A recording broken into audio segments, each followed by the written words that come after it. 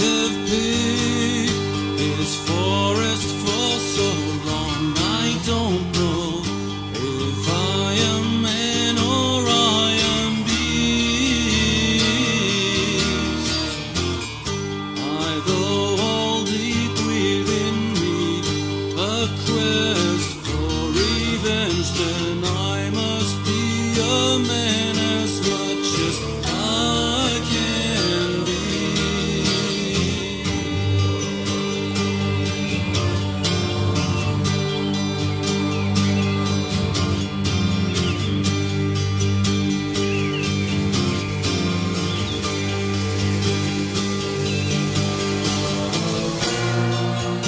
have learned to speak the tongue of animal. I have learned to read the signs in bark and the stone.